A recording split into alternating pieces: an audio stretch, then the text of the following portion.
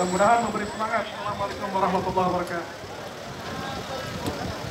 Nanti beliau kembali dari kota suci Bersiapkan Kami rindu sosok mendambakan Menjatuhkan pilihan kepada Habibah Allahumma salli ala Muhammad Ya Rabbi salli alaihi